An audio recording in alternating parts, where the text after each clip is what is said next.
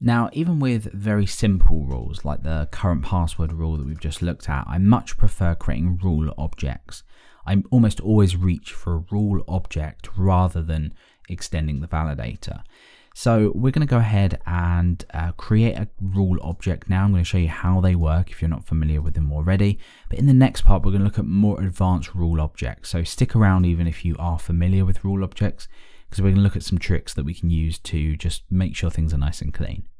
So what we want to do to generate a rule object is go ahead and use Artisan. You can manually create it if you want, but we may as well use Artisan. And we're going to make a rule, and I'm going to call this, uh, let's call this current password, if I can type. So let's hop over and this has created a rules folder and of course our current password rule is now in there.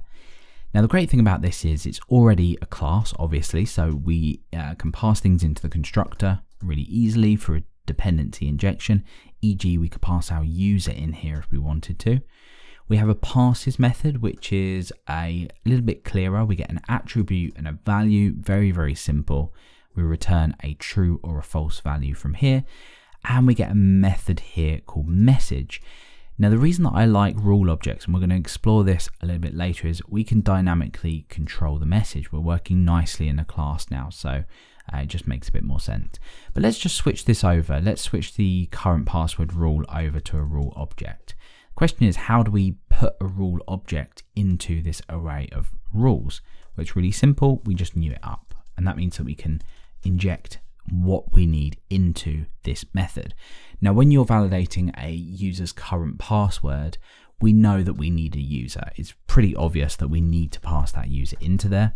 So I'm going to go ahead and pass that user in as a dependency and I can type in this. I know that this should never be null because when I'm checking a user's password, I expect to have a user authenticated to be able to check their password. So let's go ahead and just pop this user into the class. We've got that now. And for the passes, that's really simple. We can just go ahead and grab exactly the same rule, but we're not doing all of this optional stuff where the user may or may not exist. We're not too sure because we've globally defined it. Now we're working with a solid class that we're actually passing a known dependency into, and that's why I like using rule objects. So now we can get rid of this uncertainty and we can say, well, we know this user has to exist, so we're going to grab their password out. And the message, of course, is really simple. Let's just say current password is wrong, whatever. It's up to you. So let's go and now say ABC, and uh, it looks like, uh, yeah, we didn't pull the user dependency in.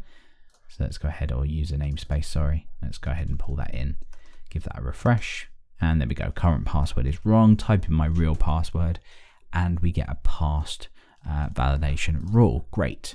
So if you were new to rule objects, that's how we define a rule object out. A bit of the benefit of why these are better, mainly for dependency injection and knowing that we've got that dependency in there.